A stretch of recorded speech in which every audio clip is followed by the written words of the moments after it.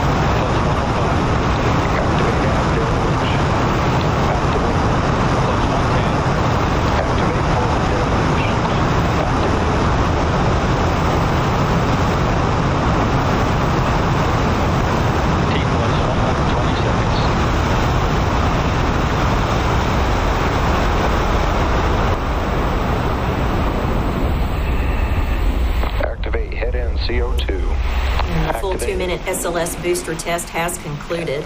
Alicia, can you tell us a little bit about what's happening right now? I believe the uh, quench arm should be coming in. Right, so we'll be swinging the quench boom. You can see it start right now. Um, basically, that's really important. It's going to, like a big fire extinguisher, right? It's going to go put out the fire on the inside of the motor.